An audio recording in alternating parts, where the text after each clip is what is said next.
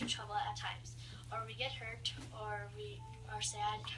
Kids all fall off their bikes. Teenagers get their hearts broken. Parents lose their jobs.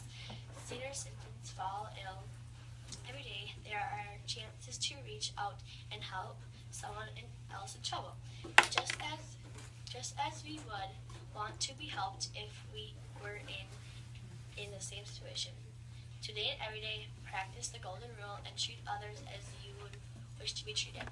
Something to think about. This is Callie Knudsen. Make it a great day or not, the choice is yours.